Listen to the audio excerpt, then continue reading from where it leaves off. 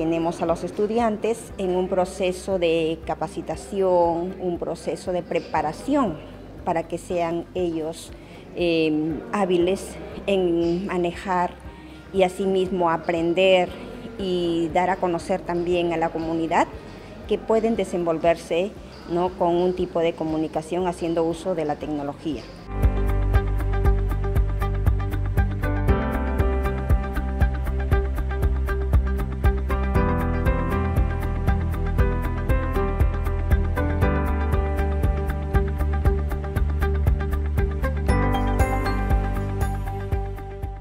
Siempre con el pueblo. Gobierno del Perú.